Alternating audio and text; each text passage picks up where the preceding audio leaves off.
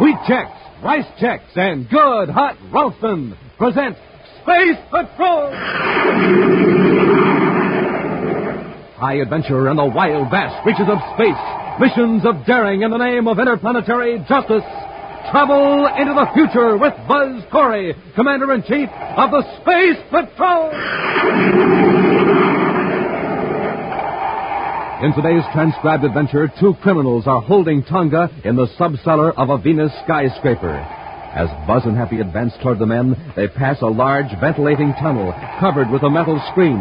One of the men throws a switch, and behind the screen, the blades of a giant fan start to whirl.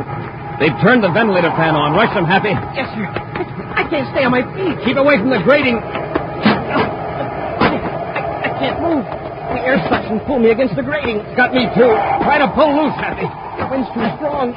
Commander, the grating is sliding up. Pull, Happy. Pull hard. If you don't get out of this tunnel, we'll be pulled into the fan. We'll be back in just a moment with today's Space Patrol story, A Top Secret D-Ray.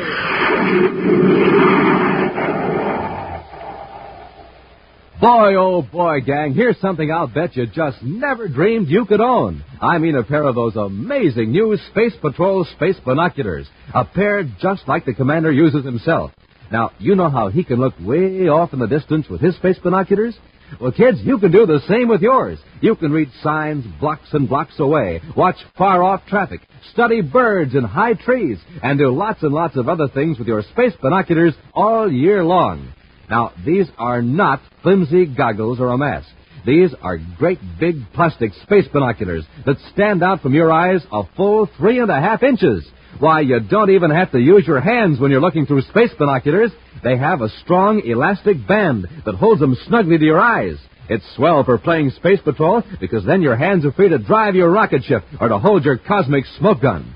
Now remember, these are real fixed focus four power binoculars with four pure lucite lenses. Real binoculars, five inches long, five inches wide. The greatest offer we've ever made on Space Patrol. But gang, the offer soon ends, so don't miss out. Send for your space binoculars today. Just buy a box of Instant Ralston.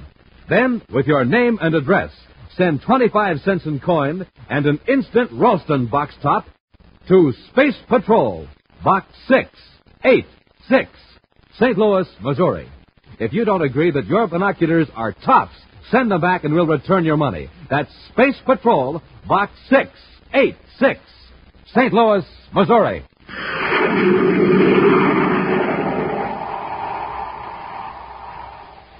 Commander Corry and Cadet Happy have just blasted off from Terra and have set their vector for the lunar fleet base on the Earth's moon. One of the busiest spaceports in the solar system, the fleet base is also the center of scientific research into the development of space flight. For the past week, it's been open house at the base, with guided tours for throngs of visitors from Earth and many of the other planets. Tonga has been assigned to special duty at the base to see that security regulations are observed. Buzz and Happy plan to spend two days at this moon spaceport and then bring Tonga back to Terra. Mind if I tell you something, sir? What, Happy? Well, I didn't say anything one way or the other, but well, I'm certainly glad I wasn't assigned to duty at the fleet base this week. Somehow I get the impression that you don't exactly care for the idea of herding tourists around. Oh, it might have been fun for a couple of days, but gee, a whole week. Why, I'd rather fly through the meteor belt than a bird cage. I know what you mean. Just the same, Visitors Week at the Lunar Base has been fine for public relations. You'd be surprised at the number of people who are on the moon this week who've never made a space flight before. Tonga, Lunar Fleet Base, calling Commander Corry aboard Terra 5. Tonga, calling Commander Corry aboard Terra 5. Corry here. Go ahead, Tonga. Commander, I have an emergency message. I'm cutting to scramble circuit code 5. All right, Tonga. I'll adjust the receiver. Code 5 circuit cut in. Go ahead. There has been a security leak on the D-Ray project here at the base. The D-Ray project? Yes, Commander. A strip of microfilm containing the basic designs has been taken from the files. Do you have any idea when the theft occurred? Within the last three days. Order the base commander to declare condition red and ground all spaceships. The thief may still be on the base. Condition red is already in effect, Commander.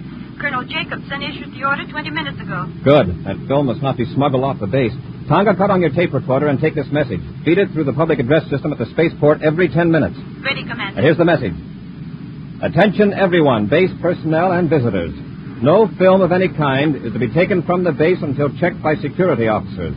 Film that is cleared will be sealed and returned to passengers after they're permitted to board their ships. Film not surrendered to security officers will be automatically blanked out by cancel ray machines as passengers and luggage pass through the gates. To preserve your personal films, follow these regulations. End of message. I have it recorded, Commander. It will be put on the base PA system immediately. We don't want to keep innocent people on the base longer than necessary, so run the films through inspection as rapidly as full security methods permit. Yes, Commander. Happy and I will arrive at Lunar Fleet Base in approximately three hours. We'll contact you upon arrival. Corry out.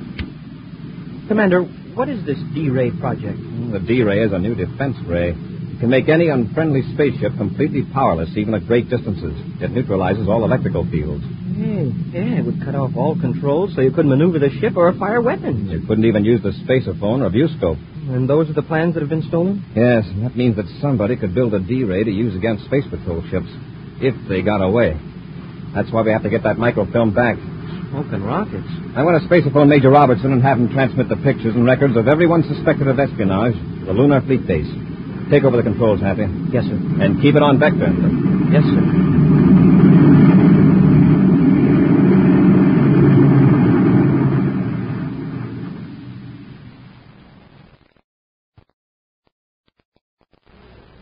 Your film has been cleared, sir. It will be returned to you aboard your ship as soon as transportation is available. Next. Your name, please. Bob Morgan. You have some film to declare? Yes, ma'am. It's in this can. It's a home movie of my family and some friends. Only a couple of shots of the fleet base. The guide said it was okay to take them. I'll have to run them off, Mr. Morgan. If you'll step into the projection room with me. Sure. You'll probably find them pretty dull. I'm not much good at taking.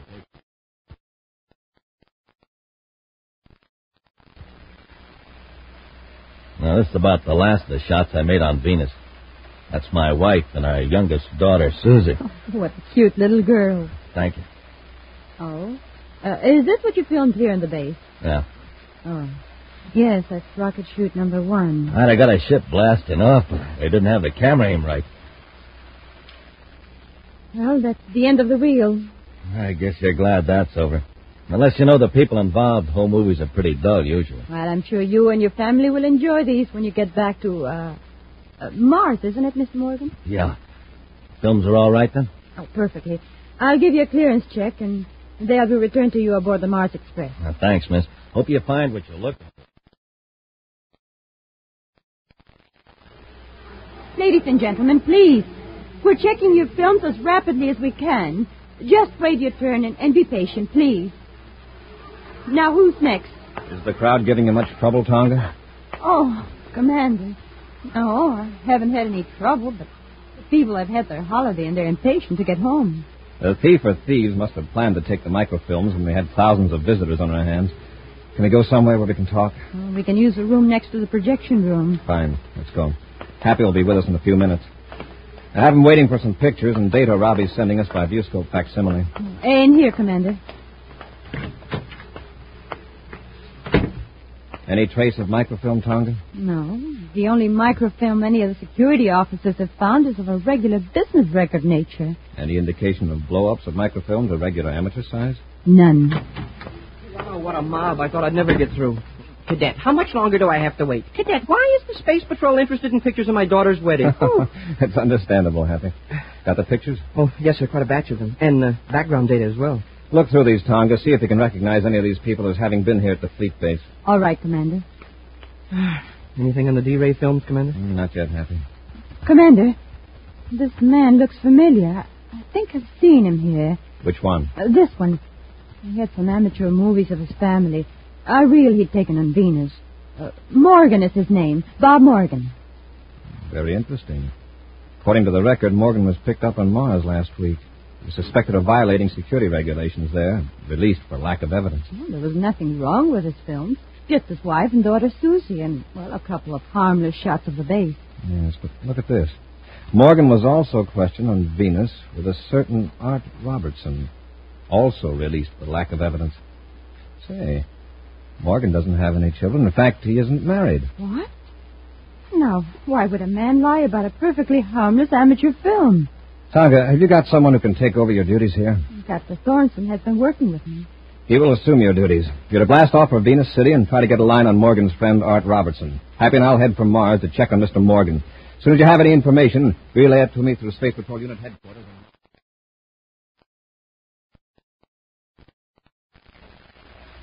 Can't you speed up that projector, Morgan? I'm tired looking at these phony home movies. You're tired of them. I've seen this film a dozen times while I was editing and doctoring it at the fleet base, and I had to look at it again at security. Okay, I'll speed it up. Well, the place where I dubbed in the documents is coming up shortly. You must have done a good job with the assistant security chief, Bassett. It's lucky I took all that trouble out. Even though we thought we could get off the fleet base before anyone discovered the D-Ray plans were gone, it didn't work out that way. Now what happened? Well, some eager beaver engineer started his ship three hours early. Now, we're getting close. Watch this, Art. There. I've stopped the film on the frame of the little girl. You don't see anything unusual? No, neither did security. Watch now. I'll switch to the microfilm lens on the projector. Hmm, all I see is a plain white space with a blue border. Now, that's a blow-up of one of the white checks on the girl's skirt. The Blue border is made by the adjoining blue squares. You mean one tiny square fills the whole screen? Oh, I still don't see anything. You will. When I cut off the regular lamp and turn on the infrared. Jump on Jupiter, the D-ray plans. Right. That's page one. Next 20 frames, there are other pages concealed in squares of the girl's skirt. Great job, Morgan. Terrific. Yeah, nearly went nuts. First, I had to project the original microfilm, photograph it in infrared on another microfilm. Then came the tough part. I had to superimpose the plans on a regular sized film inside one of those tiny squares. You did a great job, Art, and take the D-ray strip to Venus. Now, will we collect? Yeah. But it'll take me a couple of days to establish contact with the man who pays off. Naturally.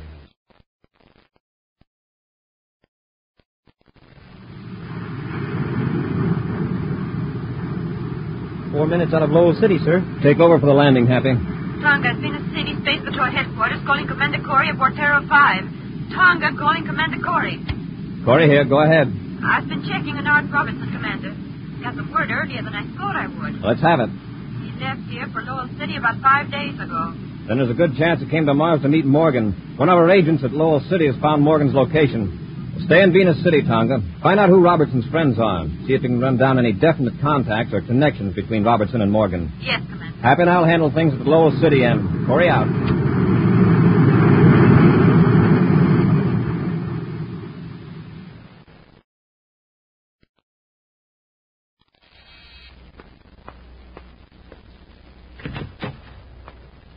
Yeah? Mr. Robert Morgan? Oh, why, yes. I'm Commander Corry of the Space Patrol. This is Cadet Happy. We'd like to talk to you. Uh, sure. Come in, gentlemen. After you, sir.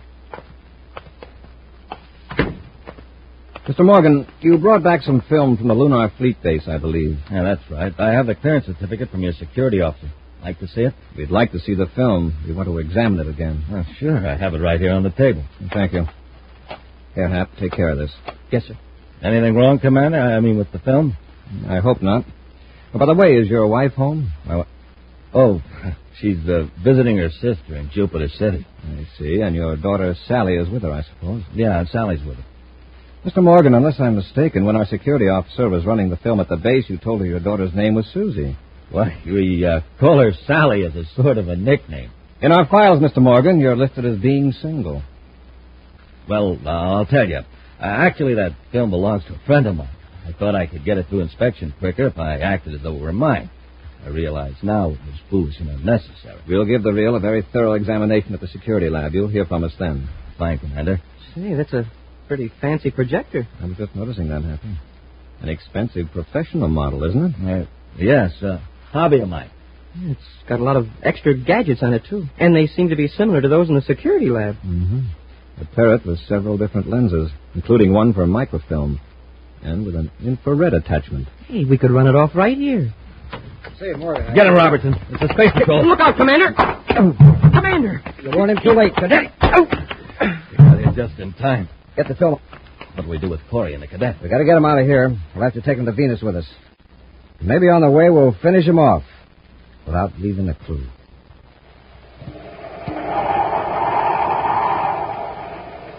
We'll be back with Space Patrol in just a moment. But in the meantime, here's a quick three act play.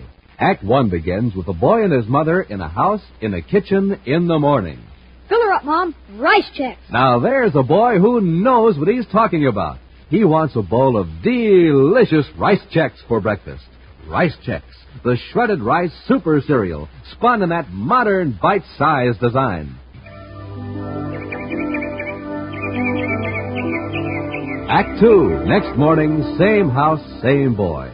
And in the kitchen, he's lifting up that bowl again. Fill her up, Mom. Wheat Chex. Yep, today he wants Wheat Chex. Power packed Wheat Chex. Swell tasting shredded wheat biscuits in that same modern bite sized design.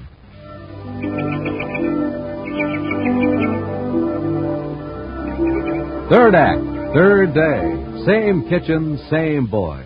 Fill her up, Mom. Instant Ralston. Yes, sir, today he wants to warm up his motor, so for him it's Instant Ralston, the cereal with flavor galore. Good hot Ralston. And so ends our play. And gang, here's the moral. For a super breakfast, eat a super cereal. Rice Chex, Wheat Chex, good hot Ralston. Bob Morgan has stolen a set of microfilm plans for the secret D-Ray from the Lunar Fleet Base by superimposing them on an innocent appearing film of regular size. Buzz and Happy, suspicious of Morgan because of discrepancies in his story, found the film containing the defense secret. But before they could examine it, Morgan's accomplice, Art Robertson, arrived, and the two men overpowered the space patrolman in a fight in a darkened room. Right now, with Buzz and Happy locked in a compartment, Morgan and Robertson are in a spaceship approaching Venus. We aren't going to land in Venus City with Corry and the cadet aboard, are we? No.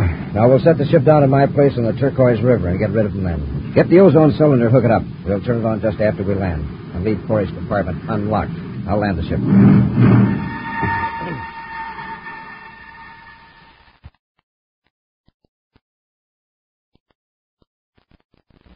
Commander, they've landed. I wonder where we are. Listen. They're out in the corridor by the door. Watch your chance. If they open it, we'll jump them. Yes, sir. Leave them in there, Morgan. We'll attend to them when we come back. Okay. Sounds like they're leaving the ship or something. Yeah. Did you hear a click just then? I don't think so, sir. I think one of them was about to open the door when the other one called him away. Try the handle. Right, sir. It's unlocked. Open the door a little. Listen. Hear anything?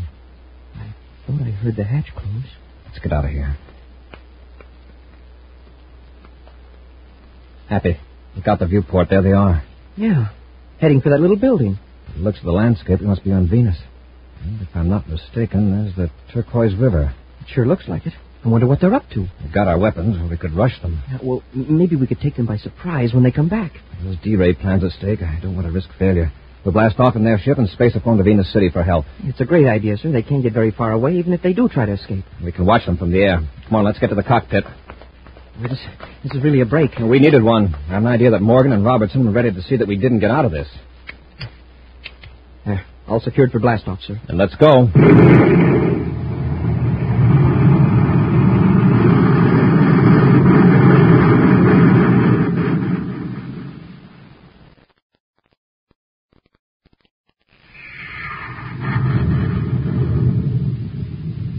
there they go. Yeah, just the way you planned it. How long will it take for that ozone to take effect? Ah, just a couple of minutes. After a few lungfuls of that contaminated oxygen, they'll get sick and dizzy. Before they can land, they'll black out. and there'll be a terrible tragedy on the Space Patrol records. Where's your submarine? Uh, it's hidden under the wharf on the river. Come on, let's get down to it.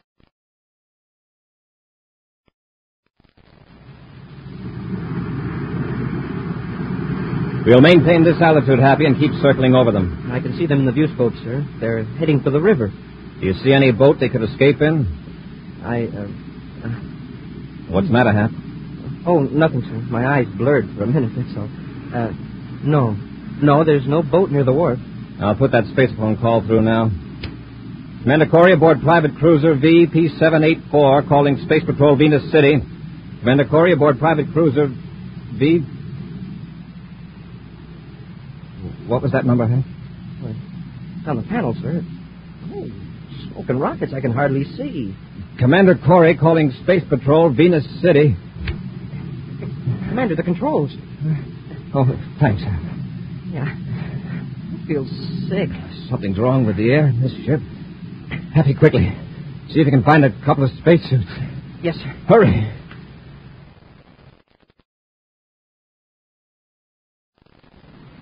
The suit's hard to get on. I feel so weak. I'll help you, Happy. There. Now close the face piece. Let's, let's hope the oxygen supply works. Is your suit receiver working, Happy? Yes, sir. I read you. Take several deep breaths. It's clearing already. So is mine. Then check the viewscope. Do you see Morgan and Robertson? No, sir. Last I saw of them, they were headed for the wharf. Do you suppose they're swimming across the river? Well, keep watching, Happy. I'll check the air analyzer and see what's wrong. Of course, they might have gone back to the building while we were putting on our suits. Boy, I sure thought I was going out there for a while. No wonder. The ship's air indicator's in the red. A few more breaths and we'd have been finished. Hey, there is a boat down there. It's coming out from under the wharf. It's an odd-looking craft. Hey, now it's gone. It, it sank. Submerged is more accurate. Sub- a miniature sub. Right. Afraid we fell into a trap. They wanted us to blast off in this ship. Have me check the air system to see what they rigged up. I'll notify Venus River Patrol to take soundings up and down the river for that sub.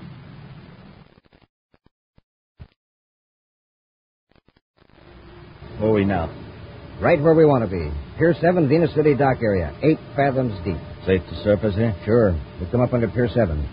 There's a ladder that leads up through a trapdoor into a tool shed. A few minutes from now, we'll be in the streets of Venus City, ready to sell the D-Ray plans. Yeah. No one able to trace it. I'll cut the motors now. We're going to the surface.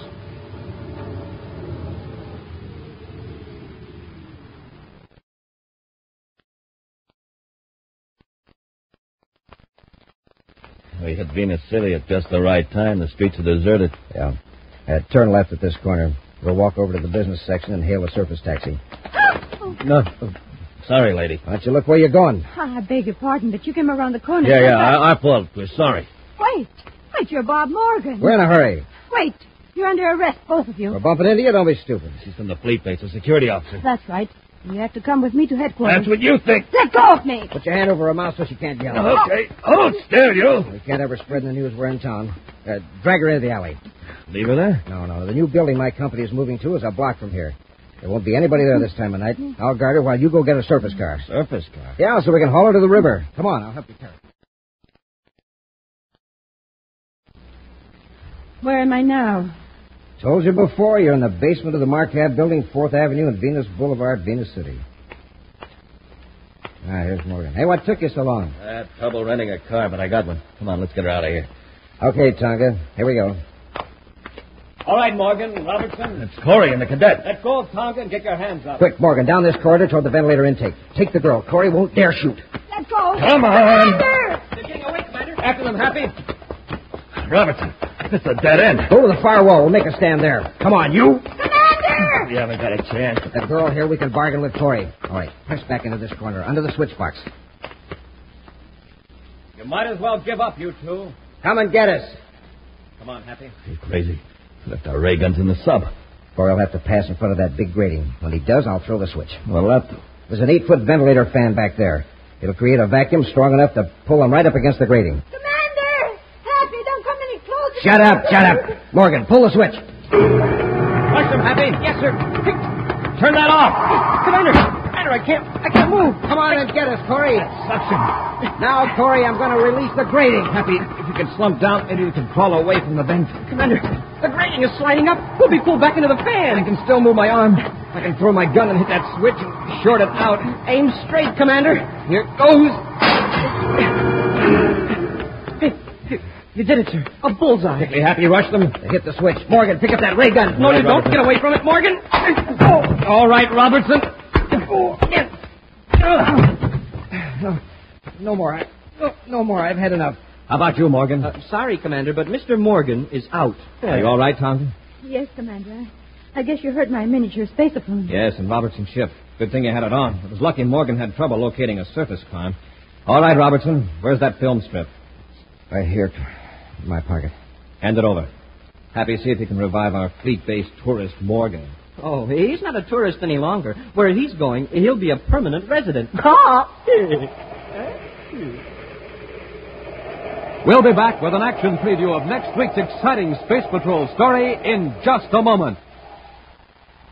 Hey, gang, have you sent for your Space Patrol space binoculars yet? Well, you better hurry because this offer is soon going to end. Now remember, space binoculars are real binoculars. Big, powerful binoculars you can see way off in the distance with. And when I say they're big, when I say they're powerful, I mean it. Space binoculars are five inches long, five inches wide. They're four power binoculars, and that means they make people, cars, buildings, everything else in the distance look four times closer. Now, they're not old fashioned binoculars that you have to hold in your hand. They're sleek, new, modern plastic binoculars with an elastic band that holds them snugly to your eyes. Just think of the fun. You can spot planes in the sky, watch birds and squirrels in the trees, identify cars blocks away, read signs way off in the distance, and do lots and lots of other things with them day and night all year long. Absolutely the greatest value we've ever offered. But don't forget, this offer soon ends. So hurry. Send for your official Space Patrol space binoculars today. Just buy a box of Instant Ralston. Then, with your name and address, send 25 cents in coin and an instant Ralston box top to Space Patrol, Box 686, St. Louis, Missouri. This offer good only in the USA and may be withdrawn at any time. That's Space Patrol, Box 686, St. Louis, Missouri. And now, an exciting preview of next week's exciting Space Patrol story. Buzz and Happy have conceived an extremely daring and dangerous plan to surprise two criminals who are holding Carol captive in the Martian hills. Right now, they're nearing the hideout in a small atmosphere ship. We're getting close, sir. Fasten your safety belt, Happy. Here's where we would develop power failure intentionally. I'm all set, sir.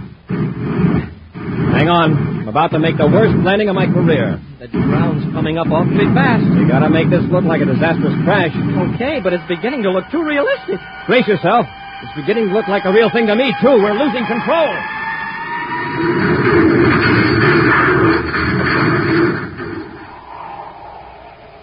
Be sure to be with us next Saturday for the exciting story, Crash Landing, when Wheat Chex, Rice Chex, and Good Hot Ralston again present Space Patrol! Space Patrol, an original Mike Moser production starring Ed Kemmer as Commander Corry and Lynn Osborne as Cadet Happy, was written by Lou Houston and directed by Larry Robertson. Other players were Norman Jolley, Ken Mayer, Nina Bara, and Stephen Robertson. Dick Tufeld speaking. Now, don't forget to tune in next Saturday and every Saturday when Wheat Chex, Rice Chex, and Good Hot Ralston again present the new exciting Space Patrol. Be sure to see another exciting Space Patrol story on your local ABC television station. Consult your local paper for time and channel. Space Patrol comes to you transcribed from Hollywood. This is ABC Radio Network.